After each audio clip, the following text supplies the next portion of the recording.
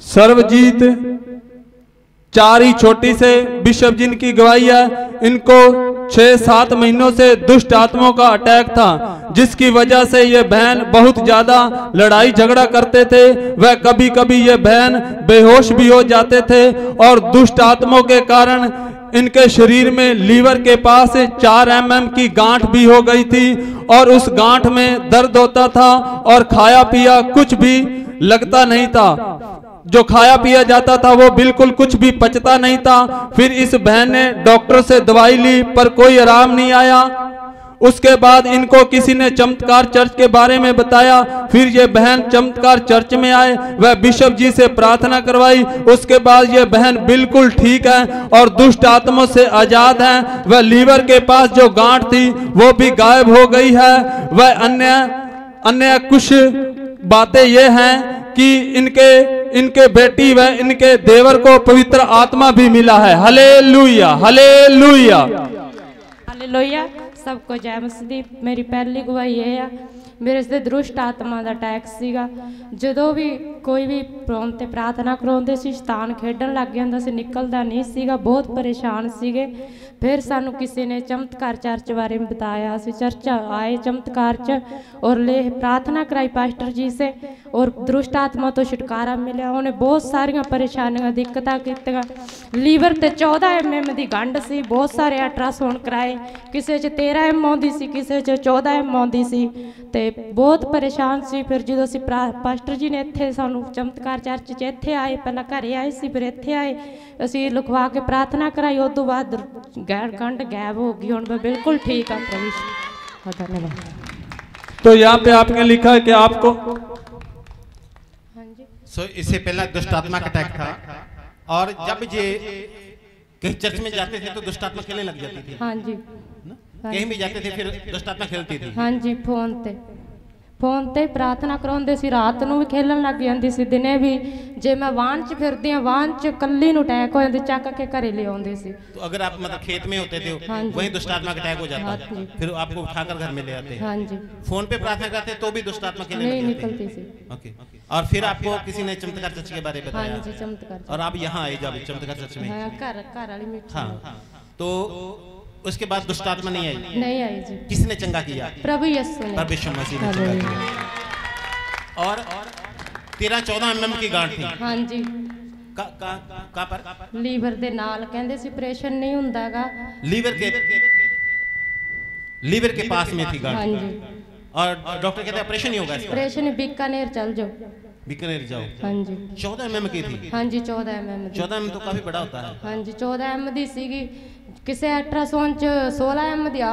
14 M ਦੀ ਆਂਦੀ 13 M ਦੀ 12 M ਦੀ ਬਸ ਇੰਨੀ ਰਹਿ- ਸੋਜਨ ਆ ਜਾਂਦੀ ਸੀ 14 ਐਮ ਦੀ ਹੋ ਜਾਂਦੀ हाँ हाँ तो मतलब सोजन आ जाती थी तो चौदह शो करता था उसमें हाँ जी। नहीं तो बारह तेरह हाँ ऐसे जी। करता था और फिर अ, आप जब यहाँ आए प्रार्थना में ਹਾਂਜੀ उसके बाद वो गांठ गायब हो गई ਹਾਂਜੀ ਗਾਇਬ ਹੋ ਗਈ आपको कैसे पता चला ਕਾ ਇੱਥੇ ਬਹੁਤ ਭਾਰਾ ਰਹਿੰਦਾ ਸੀ ਕੁਛ ਖਾਇਆ ਪੀਆ ਜ਼ਹਿਰ ਬਣ ਬਣ ਕੇ ਰਾਤ ਨੂੰ 2 ਵਜੇ ਜਾਣ ਔਖੀ ਹੋਣ ਲੱਗਣ ਦੀ ਲੈ ਜਾਂਦੇ ਸੀ ਡਾਕਟਰ ਵੀ ਜਵਾਬ ਦੇਣ ਲੱਗ ਗਏ ਕਹਿੰਦੇ ਬੀਕਾਨੇਰ ਲੈ ਜਾਓ ਉਸ ਤੋਂ ਬਾਅਦ ਹਲਕਾ ਹਲਕਾ ਮਹਿਸੂਸ ਹੋਣ ਲੱਗ ਗਿਆ ਸੀਗਾ ਖਾਇਆ ਪੀਆ ਹੁਣ ਬਹੁਤ ਖਾਣੀ ਆ ਸਾਰਾ ਹਾਜ਼ਮ ਹੁੰਦਾ ओके ਜੀ अब वो गांठ नहीं है ਹਾਂਜੀ ਨਹੀਂ ਆ परमेश्वर का धन्यवाद करते हैं ਫਿਰ ਦੇਵਰ ਨੂੰ ਮੇਰੀ ਬੇਟੀ ਨੂੰ ਮੈਨੂੰ ਖੁਦ ਨੂੰ ਪਵਿੱਤਰ ਆਤਮਾ ਨੇ ਪਾਸਾ ਵੀ ਮਿਲਿਆ हालेलुया ਹਾਲੇਲੂਇਆ देखिए दुष्ट आत्मा बाहर पवित्र आत्मा जी अंदर पवित्र आत्मा जी अंदर आ गया और अन्य भाषा का वरदान मिला आपको भी अन्य भाषा का वरदान ਹਾਂਜੀ ਆਪ ਮੈਨੂੰ ਮਿਲੇ पवित्र आत्मा मिला ਹਾਂਜੀ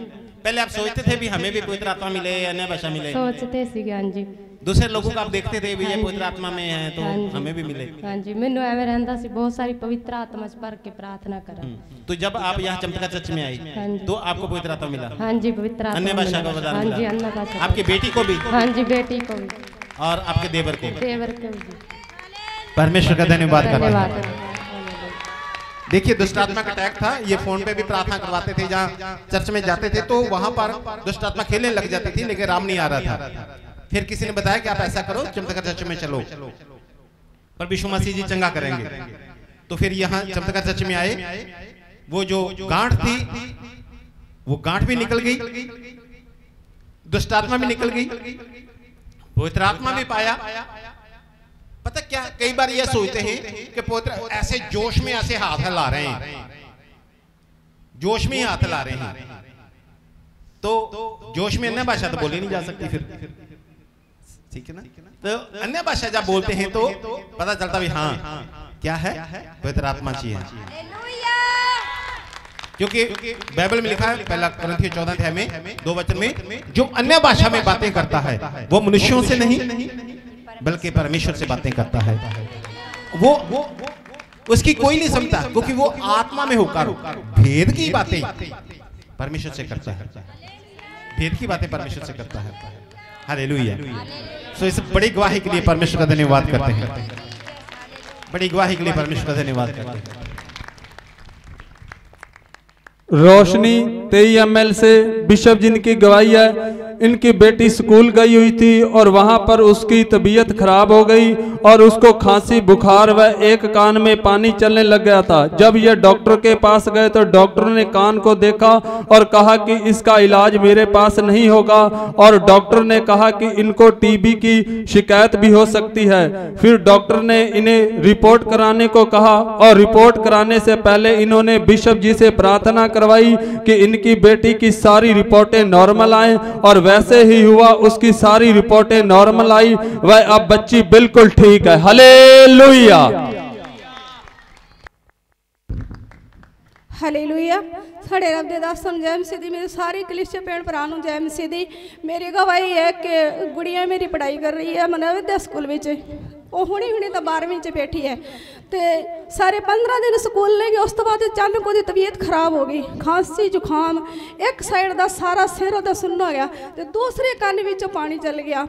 ਤੇ ਉੱਥੇ ਉਹਨਾਂ ਨੇ ਦਵਾਈਆਂ ਨਹੀਂ, ਆਰਾਮ ਨਹੀਂ ਆਇਆ। ਫਿਰ ਉਹਨਾਂ ਨੇ ਸਾਨੂੰ ਸੱਦ ਕੇ ਕਿਹਾ ਵੀ ਆਪਦੇ ਬੱਚੇ ਨੂੰ ਘਰੇ ਲੈ ਜਾਓ ਤੁਸੀਂ।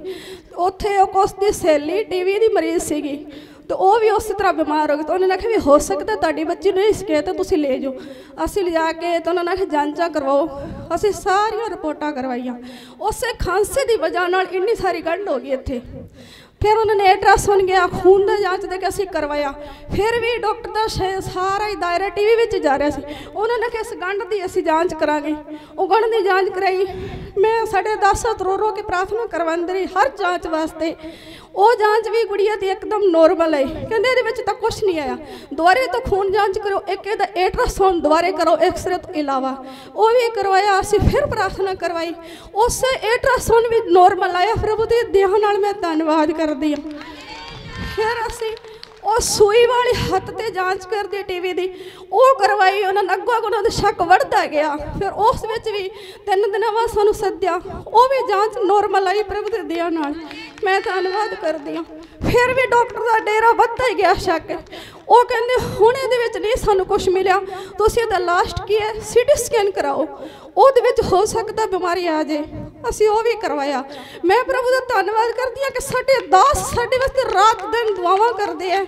ਤੇ ਮੈਂ ਫਿਰ ਪ੍ਰਾਰਥਨਾ ਕਰੀ, ਮੈਂ ਕਿਹਾ ਗੁਰੂ ਜੀ, ਇਹ ਗੱਲ ਦੱਸ ਰਹੇ ਆ। ਉਹ ਸੀਟੀ ਸਕੈਨ ਅਸੀਂ ਕਰਾਈ, ਉਸ ਟਾਈਮ ਮੇਰੇ ਇੱਕਦਮ ਹਾਲਾਤ ਆਪ ਦੇ ਵਿਗੜ ਗਏ ਸੀਗੇ। ਆਤਮਾ ਨੇ ਸਾਥ ਦੇ ਰਹੀ ਸੀ ਕਿ ਬਿਮਾਰੀ ਆਉਗੀ ਲੇਕਿਨ ਸਮਾ, ਦਿਮਾਗ ਦੇ ਤੋਰੇ ਮੈਂ ਵੀ ਟੁੱਟ ਗਈ ਸੀ ਮੈਂ ਪਰਮੇਸ਼ਵਰ, ਇਹ ਰੋਗ ਮੈਨੂੰ ਸੀਟੀ ਸਕੈਨ ਵਿੱਚ ਮੈਨੂੰ ਲੱਭਿਆ ਸੀਗਾ। ਮੇਰੇ ਅੰਦਰ ਦਾ ਨਿਕਲ, ਇਹ ਮੇਰੀ ਬੱਚੀ ਨੂੰ ਹੋ ਗਿਆ। ਉਹ ਇੱਕ ਨਾਲ ਦੀ ਬੱਚੀ ਨੂੰ ਸਕੂਲ ਚੋਂ ਬਾਹਰ ਕੱਢਤਾ। ਹੇ ਪਰਮੇਸ਼ਵਰ, ਮੇਰੀ ਬੱਚੇ ਨੂੰ ਤੂੰ ਹੀ ਬਚਾਉਣ ਵਾਲਾ ਹੈਗਾ। ਮੈਂ ਪ੍ਰਾਰਥਨਾ ਕਰਾਈ, ਉਹ ਸੀਟੀ ਸਕੈਨ ਵੀ ਸਾਡਾ, ਮੇਰੇ ਸਵਰਗੇ ਪਿਤਾ ਨੇ ਤੇ ਸਾਡੇ ਦਾਸਾਂ ਦੀ ਦੁਆ ਨੇ ਨਾਰਮਲ ਕੀਤਾ। ਉਹ ਡਾਕਟਰ ਕਹਿੰਦੇ, ਸਾਡਾ ਦਾਇਰਾ ਫੇਲ ਹੋ ਰਿਹਾ ਹੈ। ਕਹਿੰਦੇ, ਤੁਸੀਂ 15 ਦਿਨ ਉਹਦੇ ਵਿੱਚ ਕੀ ਦੱਸਿਆ? ਕਿ ਗੁੜੀਆਂ ਨੂੰ ਤੁਹਾਡੀ ਨੂੰ ਨਮੂਨੀਆ ਹੈਗਾ ਤੇ ਜਿਹੜੀ ਇਸ ਗੱਲ ਸੋਚ ਰਹੇ ਉਹ ਗੱਲ ਸਾਹਮਣੇ ਨਹੀਂ ਆ ਰਹੀ। ਤੇ ਮੈਂ ਪ੍ਰਭੂ ਦਾ ਬਹੁਤ ਸਾਰਾ ਧੰਨਵਾਦ ਕਰਦੀ ਆ ਕਿ ਜਿਹੜੇ ਸਾਡੇ ਸਾਰੀਆਂ ਜਾਂਚਾਂ ਗੁੱਡੀ ਦੇ 8-10 ਤੱਕ ਖੂਨ ਦੇ 7 ਦਿਨਾਂ ਦੇ ਵਿੱਚ ਵਿੱਚ ਟੀਕੇ ਕੱਢ ਲਏ, ਪਰ ਸਾਡੀ ਕੋਈ ਵੀ ਬਿਮਾਰੀ ਐਸੀ ਭਿਆਨਕ ਦੇ ਵਿੱਚ ਨਹੀਂ ਆਈ ਤੇ ਮੈਂ ਪ੍ਰਭੂ ਦਾ ਬਹੁਤ ਸਾਰਾ ਧੰਨਵਾਦ ਕਰਦੀ ਆ ਸਾਡੇ ਗੁੜੀਆ ਦੇ ਡੈਡੀ ਇੰਨੇ ਜ਼ਿਆਦਾ ਬਿਮਾਰ ਸੀ ਉਹ ਰਿਪੋਰਟਾਂ ਮੈਂ ਲੈ ਕੇ ਨਹੀਂ ਆਏਗੀ ਘਰੇ ਪਈਓ ਕਿਉਂਕਿ ਜ਼ਿਆਦਾ ਆ ਮੈਨੂੰ ਪਤਾ ਹੀ ਨਹੀਂ ਲੱਗ ਕਿਹੜੀਆਂ ਪਹਿਲਣੇ, ਕਿਹੜੀਆਂ ਬਾਅਦ ਚ ਹੈਗੀਆਂ। ਇਹ ਰਿਪੋਰਟਾਂ ਮੈਂ ਨਾਲ ਹੀ ਸਾਡੇ ਕੁੜੀਆਂ ਦੇ ਡੇ- ਡੈਡੀ ਨੇ ਸਾਰੀ 15 ਦਿਨ ਦਵਾਈ ਨਹੀਂ ਖਾਧੀ। ਉਹ ਦਵਾਈ ਵੀ ਉਹਨਾਂ ਨੇ ਸੁੱਟਦੀ ਕਹਿੰਦੇ ਮੈਂ ਨਹੀਂ ਖਾਣੀ ਕੋਈ ਵੀ ਦਵਾਈ। ਤੇ ਪ੍ਰਭੂ ਦੀ ਦਇਆ ਨਾਲ ਹੁਣ ਇੱਕ ਦਿਨ ਚੰਗੇ ਫਿਰਦੇ ਕੋਈ ਵੀ ਦਵਾਈ ਨਹੀਂ ਖਾਂਦੇਗੇ ਉਹ ਦਵਾਈਆਂ ਸਾਡੀ ਕੋਥੜੀ 'ਚ ਪਾ ਕੇ ਟੰਗੀਆਂ ਪਈਆਂ। ਅੱਜ 10 12 ਦਿਨ ਹੋ ਗਏ ਉਸੇ ਤਰ੍ਹਾਂ ਡਿਊਟੀ ਕਰਦੇ ਕਹਿੰਦੇ ਮੈਨੂੰ ਪ੍ਰਭੂ ਨੇ ਇਹਨਾਂ ਦਿਨ ਰੱਖਿਆ ਤੇ ਹੁਣ ਮੈਂ ਕੀ ਦਵਾਈਆਂ ਖਾਣੀ ਹੈ ਜਾਣਾ ਤੇ ਇੱਕ ਦਿਨ ਹੈ ਹੀ ਉਹ ਦਵਾਈਆਂ, ਇਸੇ ਤਰ੍ਹਾਂ ਪਏ ਤਾਂ ਕੋਈ ਚੱਕਰ ਨਹੀਂ।